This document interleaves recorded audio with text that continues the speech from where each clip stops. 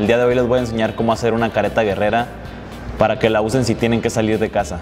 Los materiales que vamos a necesitar para hacer nuestra careta guerrera va a ser una hoja de acetato, eh, de colores, plumones, eh, tijeras, silicón y un elástico.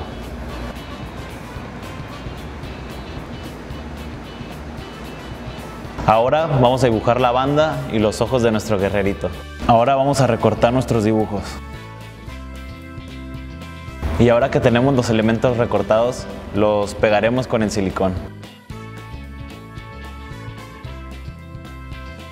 Y ahora agregamos unos detalles con nuestros plumones.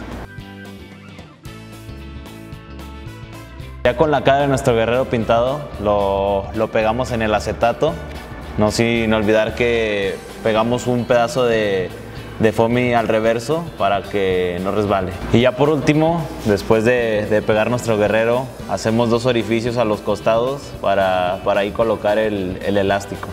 Y listo, así quedaría nuestra careta.